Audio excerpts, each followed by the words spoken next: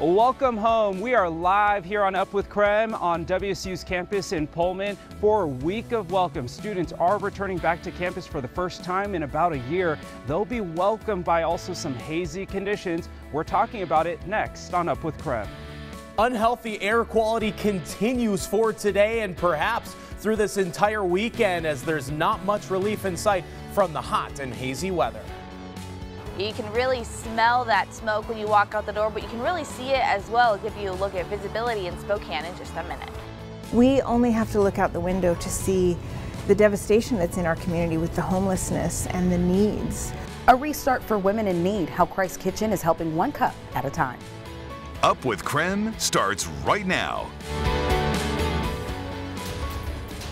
Well, good morning and thank you for watching Up with Krem. I'm Channing Curtis. We're going to start things off with some breaking news as our region has the worst air quality in the country. Right now, the air quality in the Spokane area is sitting in the unhealthy range. However, overnight, other parts of our region worsened and dropped to very unhealthy. So this morning, we have team coverage all the way to Whitman County. Our very own Tim Pham is live in Pullman this morning as they have the worst air quality in eastern Washington. Now back here in Spokane, we're crossing our fingers for a less hazy weekend. Our Thomas Patrick is in the Outdoor Weather Center. He's going to join us in just a bit to talk about when we could see some relief from the heat and the smoke. Uh, he'll be joining us here now. Thomas, what can you tell us about what's going on out there, especially with these triple digit temperatures on our way? Yeah, thankfully we're not in the triple digits right now. A bit of relief from the heat, at least first thing in the morning, but boy, oh boy, you do really smell that smoke the moment you step outside. Air quality is listed as unhealthy right now and has been very unhealthy in parts of the region across the inland northwest. Look at our downtown camera. You're supposed to see Mount Spokane somewhere behind the clock tower there. Not possible with how thick that smoke is. Same story here on the south. We're actually supposed to see some of the hills just off to our east, and we can't even do that from our own studios. In fact, let's look at the visibilities down to a mile and a half for Pullman, mile and quarter in Lewiston, mile and three quarters between Spokane and Coeur d'Alene. This is just how thick the smoke is. So it's acting kind of like a light fog out there. And that is obviously correlating to the unhealthy and very unhealthy air quality that we are seeing across the inland northwest as of right now. This is not expected to change really throughout much of the day today. Might mix out a bit with the heat of the day, but not by much. In addition to that, it is going to be hot. It was in the mid 90s yesterday. We're getting closer to 100 today. And if we squeeze out one more 100 degree day, it will be a record breaker for the area. And that's what we're going to be dealing with all weekend long. So coming up, going to have a detailed forecast of the air quality and heat through the weekend and when we will finally get a bit of short-term relief. Now we're going to send things over to Nicole, who is also tracking the air quality across Spokane this morning. Good morning, Nicole.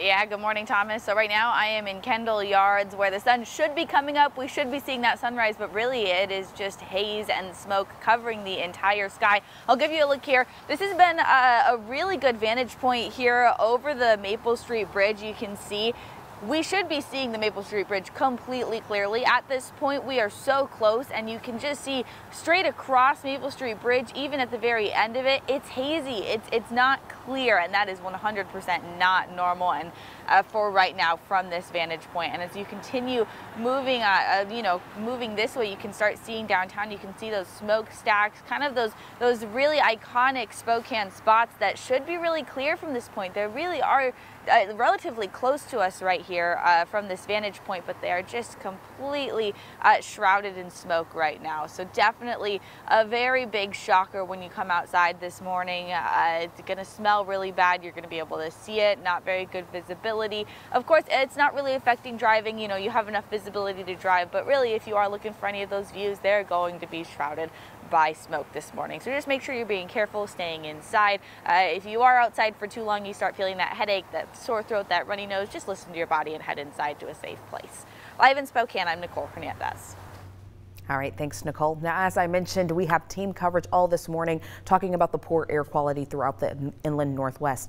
Our Tim Pham is actually out in Pullman right now where students are getting ready to head back to WSU, but they're coming back to some of the worst air quality in our region right now. Good morning, Tim.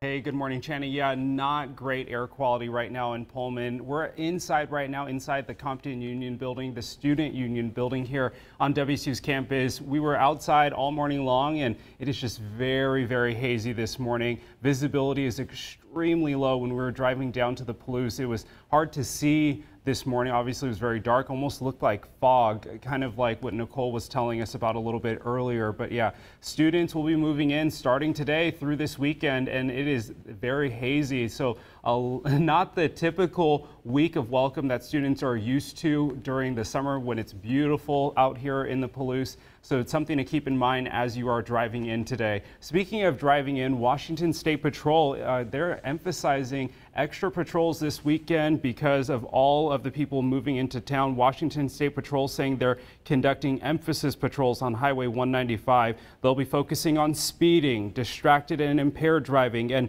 other collision causing violations. And as every experienced Coug knows, you want to be extra careful in Colfax. We all know that if you speed even a little bit in Colfax, you could end up with a ticket, and that's no fun, obviously.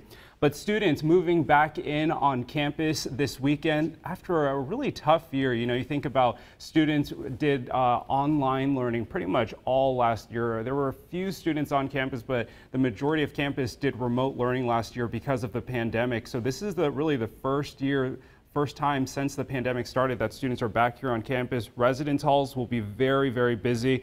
And at WSU, they're keeping regulations very tight to keep students safe as they enter college. Move in will actually be timed and spaced out different than in previous years. Students will check in at Beasley Coliseum first before making their way to their specific residence hall. So keep that in mind. You want to go there first. And then when moving in, members of your student's household, you can help them uh, but volunteers will also be on hand. They are saying that anyone who's not vaccinated must wear a mask and to move in residents, you have to be uh, you have to complete the school's vaccination requirement. So one of the things that is new this morning, new from overnight, uh, WSU announcing last night that they are changing their requirements. They're saying that once the FDA approves the COVID vaccine, that philosophical and personal exemptions for the vaccine will no longer be allowed. So this is uh, brand new information from last night. They're telling us that after the exemptions are removed, students will have 45 days to start their vaccination process, and they can still request an exemption for religious and medical reasons. And this change does not apply to staff and faculty. Now, if you are not fully vaccinated while inside a WSU building, you will be required to wear a face mask. Fully vaccinated students and anyone visiting WSU's campus are also encouraged to wear a face mask while indoors. And we're not told about any social distancing right now that's required on campus. But uh, Whitman County, you know, obviously had a sharp increase in COVID cases last year, and national publications really took notice. Pullman and Whitman County, they were in the national headlines, and publications even such as the New York Times picked up the rise in COVID cases in Pullman during 2020. The New York Times listed Pullman as the fifth highest city in the United States for metro areas with the fastest rising case numbers. Most cases reported were in young adults. Now, the vice president for marketing and communications at WSU told us students who returned to Pullman last year felt like they really had no choice but to come back despite WSU's request that students stay home. Students do need to realize most of your colleagues and, and classmates are doing the right thing, and you should be doing the right thing as well. So WSU's COVID cases extended beyond campus boundaries. You know, the, the school closing down really affected everyone. It affected businesses and uh, restaurants and hospitality in the Pullman area, and that it was a, really tough for them. Whitman County was one of three counties in the state during the Washington reopening plan that had to move back to phase two, and that was another devastating hit to businesses this last spring. Of course, now everyone fully reopened in the state. The pandemic forced some Pullman businesses to close permanently, which was very unfortunate to see. Meanwhile, others are just struggling to get by, and it's led to a decrease in tax revenue, which in turn affects projects and services in the city.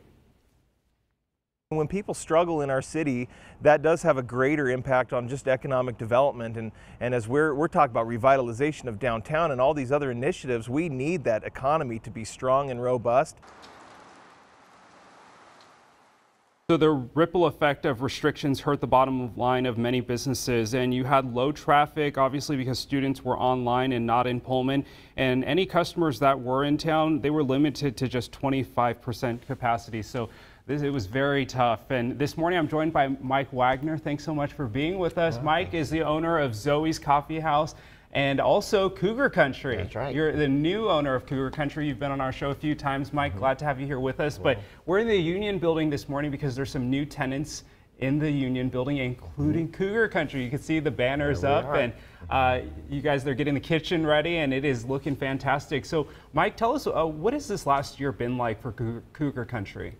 Well, it's been, um, Cougar Country was, you know, we were a drive-in and lots of our uh, food was, you know, our customers got everything to go anyway. So we jumped right into that mode, especially after we were shut down in the lobby.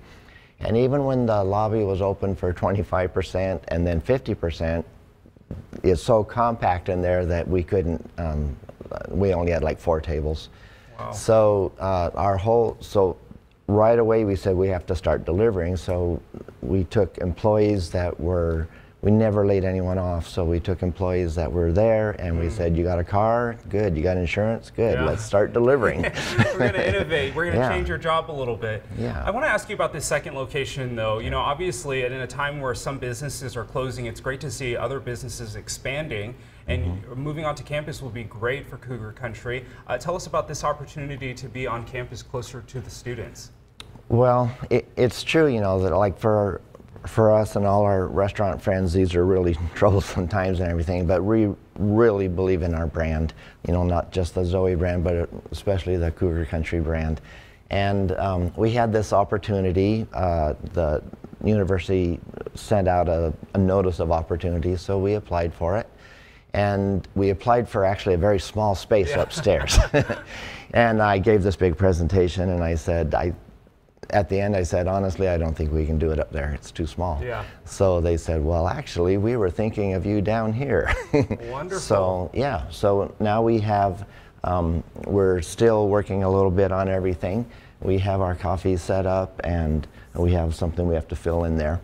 Uh, we've already started using the kitchen for our catering for yeah. Zoe. Okay. So uh, it's kind of a twofold uh, process up here. You so. get coffee and a burger. That's right. I like the sound of that in the morning. well, hey, Mike, we're also going to talk about the employee shortage facing, uh, you know, Cougar Country, but mm-hmm. everyone really in Pullman facing mm -hmm. that in the hospitality and restaurant industry. We're going to talk about that coming up in our next half hour. We're going to show you inside the kitchen and how things are uh, getting going. So we're super excited to have a Pullman staple inside the Union Building. Super yeah. exciting. I'm gonna get my crinkle Very fries good. and That's shakes. Right. Super and your fry sauce. Fry right. sauce. Mm, mm, so good, even this early in the morning. All right, uh, our live coverage of Back to School continues this morning on, from WSU's campus in our next half hour. But in the meantime, I'll send it back to you in the studio. Channing? All right, thanks, Tim. Well, coming up, a new Supreme Court ruling could mean big things for people experiencing homelessness.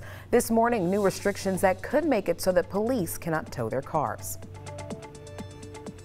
And quite a bit of smoke across the inland northwest this morning. We're tracking how much longer that's going to linger all the way through the weekend. That plus some very hot temperatures. Your forecast is coming up next.